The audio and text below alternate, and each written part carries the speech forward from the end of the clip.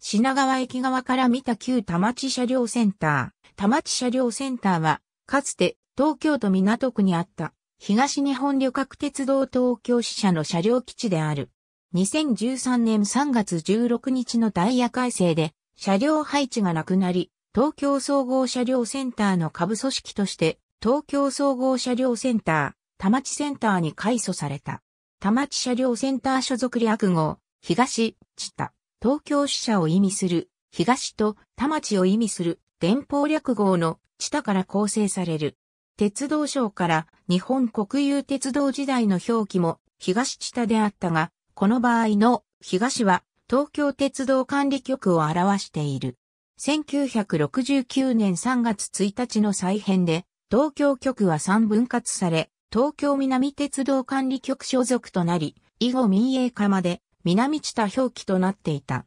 配置車両はなく、東海道線車両の電流線として引き続き、使用されていたが、2013年11月23日から11月24日にかけて行われた品川駅線路切り替え工事により、東側の隣接地に新設された新車両基地に機能移転され、廃止時点で田町車両センターとして運用されていた車両基地は閉鎖された。日中は寝台特急、サンライズ瀬戸、出雲に運用される285系電車も留置されている。国鉄時代の東海道、横須賀筋の東京側車両基地は、田町駅と品川駅の間に隣接して設けられていた。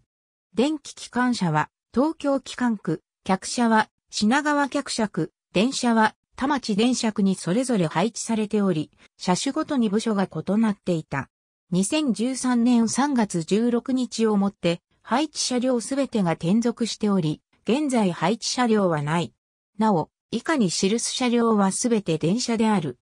185系251系183.189系 E233 系215系211系黒157から19東京機関区付近の解体現場詳細は上野東京ライン品川車両基地についてを参照。大宮総合車両センター東大宮センターも参照2015年3月14日 JR 東日本では東京駅と上野駅の間の中距離電車用線路を復活させた上野東京ラインを開業。東海道本線の電車を小具車両センター、大宮総合車両センター東大宮センターや小山車両センター、高崎車両センター、籠原派出車などに退避させることが可能になった。このため、着工前から開業後に当センターの規模を縮小し、品川地区車両基地全体で10の15ヘクタールの用地を生み出す構想が存在しており、先行して旧東京機関区近辺では一部施設についてすでに取り壊されている。また、JR 東日本が筆頭株主で多くの電気工事を受注している日本電設工業の2011年3月期第2四半期決算説明会の資料によれば、田町品川間において品川車両基地の西側を大規模事業用地に整地し、山手線、京浜東北線、東海道本線の線路を整地したエリアの東側に移設した上で、移設区間の仙岳寺駅近辺に新駅を設ける。計画とされているが、後にサイト上の資料が差し替えられ、上記について説明したページが削除された。2012年1月4日5日には山手線、京浜東北線の新駅設置計画が各マスコミで報じられた。後に JR 東日本も新駅計画を発表した。2018年12月4日、新駅の名称が高輪ゲートウェイ駅に正式決定し、2020年東京オリンピック開催を控えた同年3月14日に開業した。高輪橋稼働、橋本区道も参照高輪橋下道橋閉鎖されたか、道橋入口敷地内の芝浦4丁目と港南1丁目の境界を区道が通っている。これをまたぐガードの高輪橋下道橋は高さ制限が1.5メートルという極端な低さである。また、ガードから本センターに通じる通路が2箇所あり、西側の1箇所は長らく鉄板で塞がれており、警告板のみ残っていたが、2018年に新たに扉が設置され、警告板も取り替えられた。東側は閉鎖品川運転所長の札がぶら下がっているのみで原型をとどめている。東京無線など都内を走るタクシーの一部は屋根上の社名表示灯を通行の支障とならないように対応させた高輪橋可動橋特別仕様が存在していた。なお、最新のタクシー専用車であるジャパンタクシーや NV200 タクシーは車高の関係で通過できない。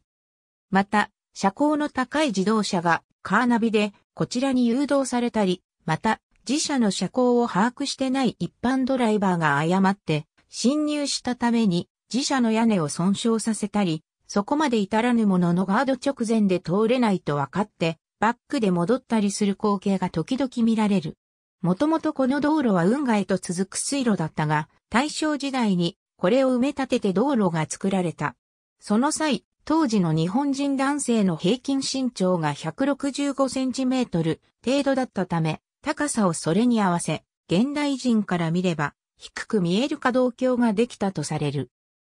2008年には TBS のバラエティ番組リンカーンの1コーナーで品川オブジアースと愛称を付けられたことから一般への認知が一気に広まった。2020年4月12日から2032年3月まで高輪ゲートウェイ駅を中核とした周辺地区のグローバルゲートウェイ品川開発に伴い車道が閉鎖され対面通行化など福音拡幅も計画されている。ウィキメディアコモンズには、高輪強化道橋に関するカテゴリーがあります。ありがとうございます。